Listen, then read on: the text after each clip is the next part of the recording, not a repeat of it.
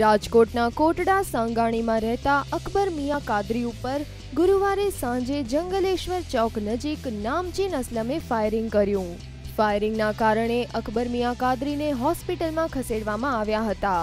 અકબર মিয়াએ અગાઉ અસલમને 1 લાખ રૂપિયા આપ્યા હતા ગુરવારે જ્યારે અકબર মিয়া સહિત નામુક લોકો અજમેર જવા નીકળ્યા હતા ત્યારે અસલમ પાસેથી ઉઘરાણી કરવા જંગલેશ્વર ગયા હતા અહીં ઉઘરાણી પ્રશ્ને માથાકૂટ થતાં અસલમે ફાયરિંગ કર્યું હતું ફાયરિંગના બનાવની જાણ થતાં ઉચ્ચ પોલીસ અધિકારીઓ ઘટના સ્થળે અને હોસ્પિટલ દોડી ગયા હતા અને ફાયરિંગ કરનાર અસલમને પકડવા ચક્રો ગતિમાન કર્યા હતા